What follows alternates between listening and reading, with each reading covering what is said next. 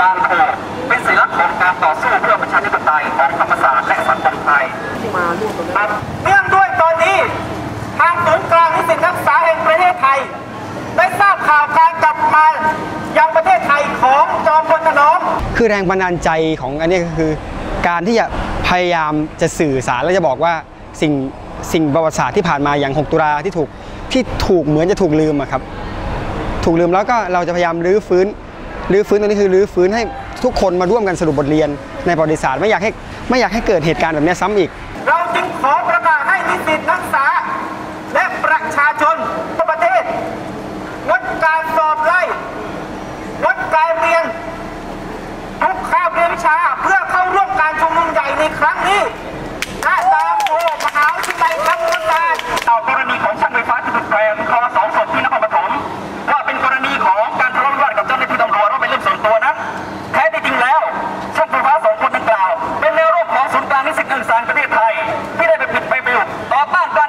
การกลับมาของเนถนอม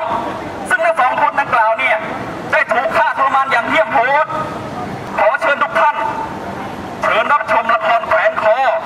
จำลองเหตุการณ์ การกระทำอาชญากรรม ของอำนาจเผด็จการ ขอเชิญชมละครได้ครับ ไม่ได้เป็นสถานที่ในการต่อสู้เพื่อประชาธิปไตยอีกแล้ว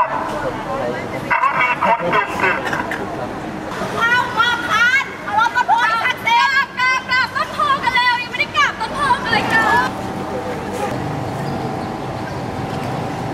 โดยส่วนตัวของผมก็คือความรุนแรงจากสังคมไทยเนี่ยมันเกิดจากการปลูกฝังอคติครับอคติในเรื่องของความเกลียด ความโกรธอย่างในบทเรียน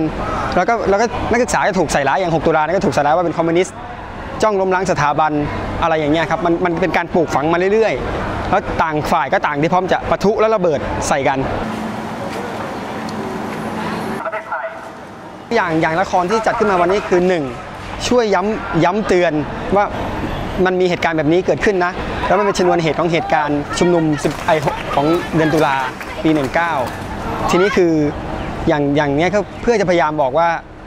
มันไม่อยากให้มันมีเหตุการณ์แบบนี้เกิดขึ้นอีก